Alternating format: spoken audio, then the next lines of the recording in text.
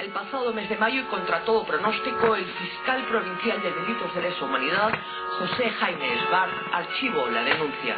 Este fiscal no reconoce, no quiere ver, desde nuestro punto de vista, no quiere ver de que hay no solamente delitos, sino que estos delitos fueron sistemáticos, o sea, hubo una política de Estado que justamente los permitió, y generalizados, que fue masivo.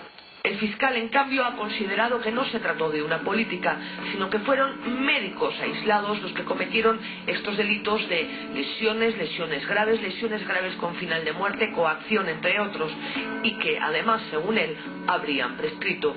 Pero hay que tener en cuenta que, según los convenios internacionales, a lo que sucedió aquí se le llama esterilización forzada, y eso es un delito de lesa humanidad que no prescribe nunca ha sido sistemático porque había una política de Estado sobre ello, donde hay indicios que habían metas que cumplir, número de cuotas y que obviamente si los médicos no lo cumplían, de alguna u otra forma tenían sanciones.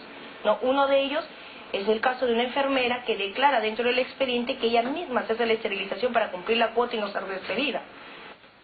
Y en el expediente que el fiscal Esbar ha cerrado, hay evidencias como este memorándum en el que la subregión de salud huancabélica informa al personal nombrado que deberá captar a dos pacientes para AQV, es decir, anticoncepción quirúrgica voluntaria, y el personal focalizado deberá captar a tres personas para la anticoncepción quirúrgica voluntaria. Asimismo, se prometen incentivos y mejores para los trabajadores que recluten a cuantas más mujeres mejor. Este otro memorándum expedido por la Dirección de Salud de Piura informa a los operadores de salud en el mismo sentido. Hubo entonces, desde instancias oficiales, el mandato de reclutar a mujeres y hombres para ser esterilizados.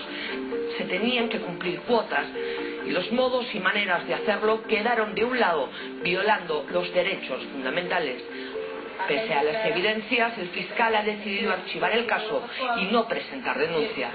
¿Qué otro argumento utiliza el fiscal para cerrar el caso? De que ha habido consentimiento de parte de la señora. Pero cuando se habla de consentimiento se tiene que hablar... En muchos casos, no en todos. No en todos. Cuando se habla de consentimiento se tiene que hablar de consentimiento válido. Para ser válido, las personas tienen que entender de qué se trata la operación. Y no tienen que estar ni amenazadas, ni intimidadas, ni coaccionadas. ¿Y? Que en este caso se dio. Muchas de ellas fueron amenazadas sobre que iban a ir a la cárcel, muchas de ellas fueron amenazadas que ya no se les iba a dar alimento, ¿no? Si no se ligaban las trompas. Si no se ligaban las trompas, ¿no? La ahora congresista Hilaria Supa acompañó a estas mujeres que denunciaron ya en 1996. Ella considera que es inaceptable que se les niegue justicia. Es un plan de gobierno, entonces no es de, de los médicos, sino es del gobierno. Es una política del gobierno de decir que los pobres tenían muchos hijos y por eso era la pobreza. Pero hoy en día son más pobres de lo que eran. Este, ¿Por qué? Porque las mujeres ya no pueden trabajar, ya no pueden atender a sus hijos como debe ser.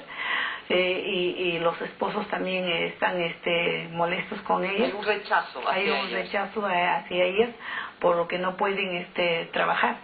Ni tener más hijos y tener más hijos. Tanto los abogados de las mujeres denunciantes como el Procurador de Derechos Humanos del Ministerio de Justicia han presentado sendas quejas para que no se archive el caso, para que otro fiscal en otra instancia lo revise. Estamos hablando de más de 2.000 mujeres que han denunciado desde diferentes partes del país y muchas otras no lo han hecho por vergüenza. Nosotros somos inválidos, nomás ya, ya no servimos para nada. Para la comunidad. Para la comunidad, para, para, mis mm, familias así también. ¿Por qué? ¿Qué te dice tu esposo? Mm, ¿Cómo ya no serví? Como ya no puedes tener hijos, ya no sirve. Claro, te dicen. ¿Y tú crees eso? Sí, creo. Ya me pasa de a mi cabeza, quiero morir nomás ya. ¿Tanto así? Sí. Nosotros vivimos en el campo, dice, sufrimos.